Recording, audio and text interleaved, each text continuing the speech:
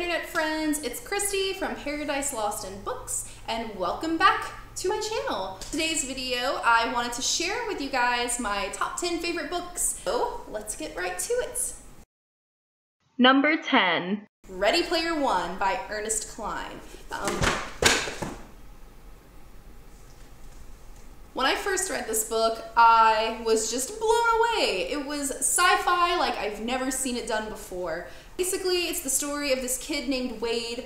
Uh, in the future, he lives in this place where it's like virtual reality all the time. No one wants to deal with the outside world. Kind of makes me think of WALL-E, which is scary because I feel like we're kind of heading towards a future like that. We're all gonna, gonna be in our floating chairs with our virtual reality helmets on.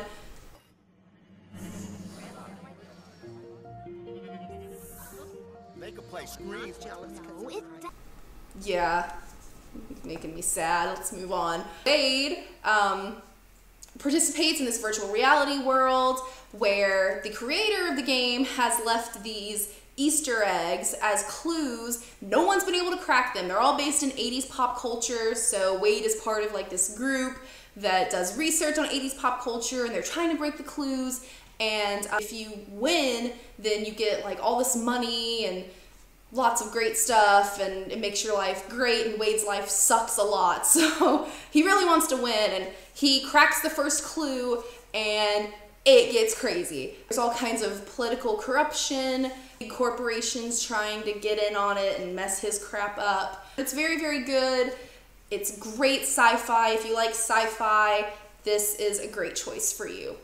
Can we just talk about how cool this cover is? Doesn't it just make you go like, what the heck are those? Are those RVs on stilts? What the hell is going on here? That has nothing to do with video games. What is this? It's misleading. I love it.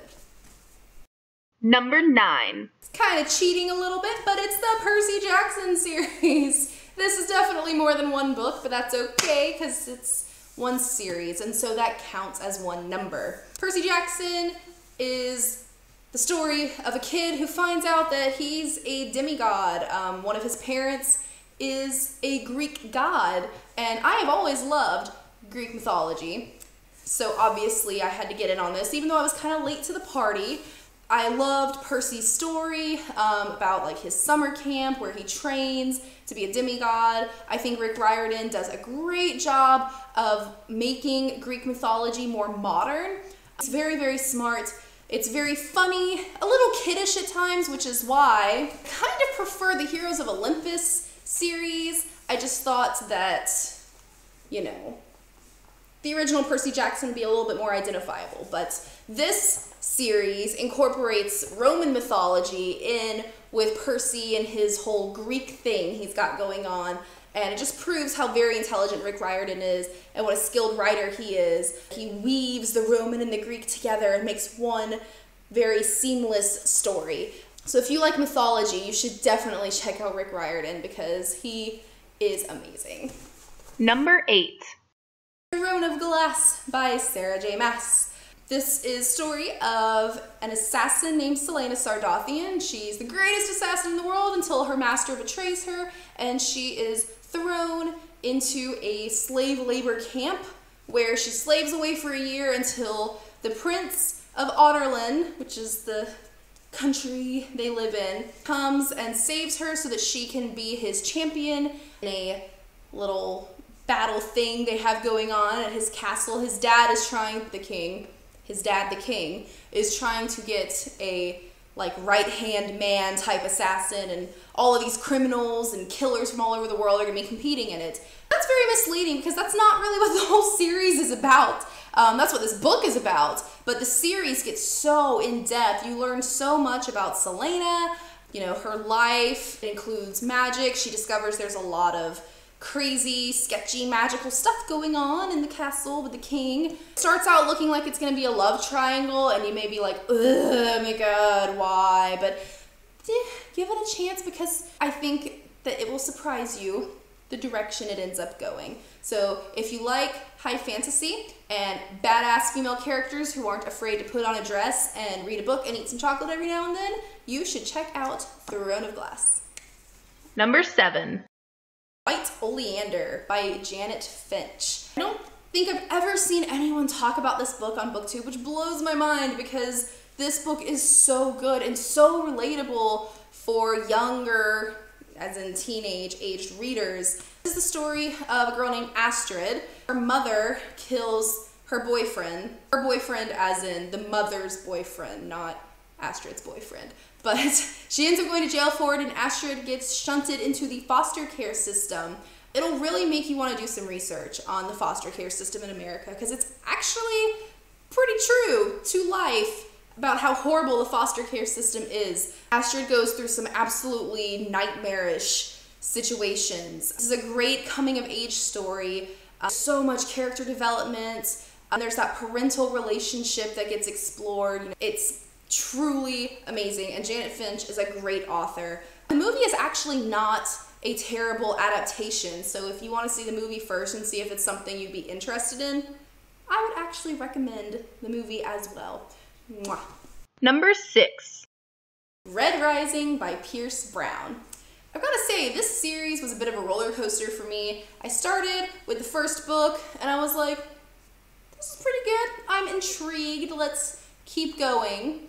And then I got to second book, and I was like, what is this? Like, this is this is really interesting and fascinating and holy crap what in the world is going on right now? I i am feeling all the things. And this book happened and i became feels. I became a trash can of feels. I I don't even know what to do with myself. I actually listened to the third book, and the voice actors are really, really, really good. They do the voices and everything extremely well. I say they, it's one person. I'm also listening to the Kane Chronicles, and that's two narrators, so I'm getting confused. But voice narrator for uh, Rising series is phenomenal. But anyways, the, the actual series is about a society in the future that is very technologically advanced. Society is divided up into colors with golds being rulers at the top and reds being the hard manual laborers at the very, very bottom of the ladder. Um, main character Darrow is a red. His wife is hanged for, you know, speaking out against all the horrible things going on. And this motivates Darrow to join up with the Sons of Ares, who turn him into a gold and send him to infiltrate the society in an effort to bring it down from the inside. Pierce Brown is an amazing writer. Uh, characters are all very rich, very well developed. They feel very distinct. There's not any character where I'm like, I've seen you before, you little cookie cutter, you. Hmm. Yeah, if you like sci fi, anything like that, this is such a good series for you. Number 5. Halfway there, guys. It is Kane and Abel by Jeffrey Archer. Never seen this book talked about on BookTube either, but probably for different reasons. This is a historical fiction about two very different men. One is named William Kane, the other is named Abel Rosnovsky. William is born into a wealthy family in America. First, I found his story pretty boring because he's a rich white boy who has everything handed to him. Yay, how fascinating. Whereas the other character, Abel, is born to a nameless woman in the woods in Poland, and he has to fight and claw his way through horrible, horrible, horrible things happen to this poor kid. Get out of World War One happenings in Poland and get over to America where he struggles. Eventually, their paths cross. We'll see where the why their names are an allusion to Cain and Abel from the Bible, but it's very great thematic historical fiction. Um, there's some really great stuff in here. Some very violent, horrible things as well, but I was really surprised how I felt at the end of the book was totally different from how I thought I was going to feel at the end of the book. I love the characters. Um, writing was not dry at all, considering that a lot of it had to do with politics and business and how these two made their money and stuff. You know, there's enough action and intrigue thrown in there that that stuff doesn't feel boring at all. So if you like historical fiction and you know multiple POV stories, this is such a good book. Check it out. Number 4. A Court of Thorns and Roses by Sarah J. Maas. This is another fantasy series, same author as Throne of Glass for those of you who are keeping up. This one features a girl named Feyre who is hunting in the woods to feed her family, and she kills this huge wolf that turns out to be a fae or a fairy. And then the ruler of a court in the land where the fairies live comes for retribution, drags her their land, Prythian, and crazy things happen. There's beautifully written, super intense romance, amazing action, lots of mystery and intrigue. It felt very, very original. I did not feel like I had seen this story before, which I think is hard to do in this genre. A lot of people are trying to cash in on this genre, and not all of them do it very well. But uh, the first half of the book is very different from the second half of the book. The second half is, you know, Feyre fighting for her life against the big bad um, character. So it's very, very good. I fell in love with this book. Um, sequel, A Court of Mist and Fury, really did me in though. I had the worst book hangover from this book. I could not stop reading it. Like, I would try and read under my desk at school whenever I could because it was just so good. I could not stop reading it. So if you like fantasy and female characters that are relatable, because she is a badass, but she's not one of those like, oh my gosh, you know, I could never be like that kind of badasses. You know, she's only a badass because she really had to be. If those things sound interesting to you, you have got to check out this series. Number three. The Lovely Bones by Alice Sebold. I read this book in middle school and it completely changed how I looked at the world. Um, I might have been a little too young to read something as heavy as this, but it's about a girl named Susie Salmon who is raped and murdered by her neighbor at the age of 14. Susie is looking down from heaven watching her family, her friends, her community try and make sense of what's happened. She's trying to make sense of what happened too. Part of the story is not only her family processing the grief, but her processing her loss and the fact that she's never going to grow up. Um, I feel like it handles the topic of death and grief very deftly, very realistically, not all tied up in a pretty bow. We get to see a lot of different characters' reactions to her death. And I really love the author's take on heaven and how it's kind of a personalized experience, um, but that you still can move on to a greater afterlife, so to speak, once you let go of your tethers to the mortal world. If you're looking for something a little bit different, a little heavier, emotionally speaking, this is such a good book. And like I said, it really altered my perception of life at a very young age. Number two. The Hunger Games by Suzanne Collins. Wow, this series. I know I'm kind of a little bit cliche. Everyone loves The Hunger Games, but I don't care because it is worth loving. It is such a good series. I personally think that The Hunger Games handled the topic of politics and political corruption better than 1984. And that's coming from an English teacher fight me.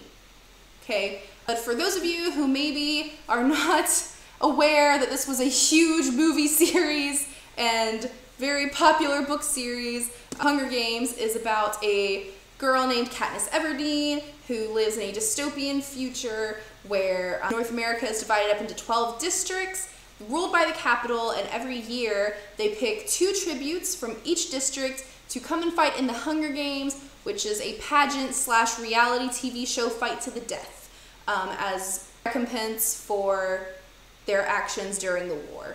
It goes from being a very personalized story to being a very wide reaching story. I just think that Suzanne Collins truly mastered the art of telling a story from a teenager's point of view and it just feels so relatable even though it's in a future that hopefully none of us will ever have to deal with. But she tackles some really serious topics that I think are permeating our society today. I think this is a really important read for a lot of people. I think it'll really make you think about our society. It's not just entertainment, folks. So, yes, if you haven't, for some crazy reason, read The Hunger Games, what are you doing? Go read The Hunger Games right now. Stop watching this video and go watch The Hunger Games. Read The Hunger Games, not watch it. But do both because I actually really like the movie adaptation of The Hunger Games. Number 1. This shouldn't come as a surprise to anyone. Probably know what's coming based on my age and my first video, but without further ado, my number one favorite book of all time is Harry Potter by J.K. Rowling. Who's surprised? Show of hands. No one? No one? Didn't think so. I don't know how much I love Harry Potter. I bet you can't guess. Guess what I did to this book. God, my poor prisoner of Azkaban. And my first and second book look like this too, guys. It's tragic. But that's how much I love these books. I've read them so many times that they are literally falling apart. I've literally had these books, well, the first three, for almost 20 years. So they're they've been through it, guys. They've been in a lot of places and been read a lot of times. I think everyone generally knows the story of Harry Potter. Like Twilight, it's pretty ubiquitous in our society, but this book just opens your imagination. The series just made me love reading. Like I just could not stop reading it. Every time a new book came out, I had to read it in one day. Uh, you know, I remember so many of my childhood memories have to do with Harry Potter, my love for Harry Potter. I grew up with Harry, you know, the last book came out my senior year of high school. So that was really exciting for me. Harry Potter has just always been there, always. And the world is so rich. The characters are so well developed. And even though the story is a common story, I often talk about Harry Potter when I teach Joseph Campbell's um, hero's journey concept she makes it her own. You know, J.K. Rowling takes a common concept and turns it into something very rare and beautiful. And I'm holding up the third book because Prisoner of Azkaban is my favorite and Sirius Black is my husband.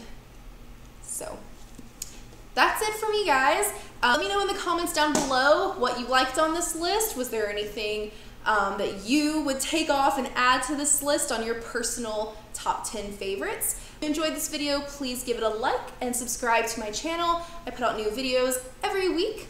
Until next time, bye guys!